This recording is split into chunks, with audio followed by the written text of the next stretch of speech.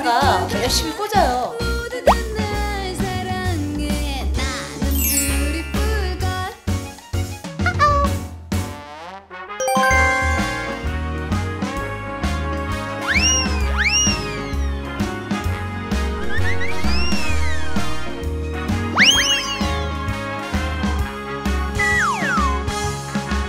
Ha!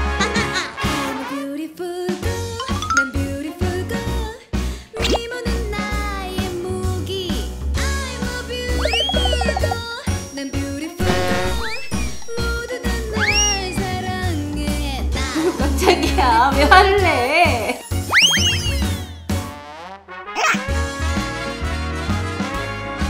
엄마!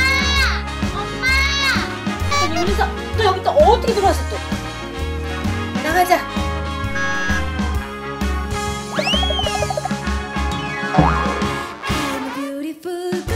등 쪽에다가 지푸라기를 꽂아서 둥지로 옮기는 행동을 보이는데 미량의 잉크라도 결국은 섭취하게 될 거고 건강에 영향을 미칠 수 있으니까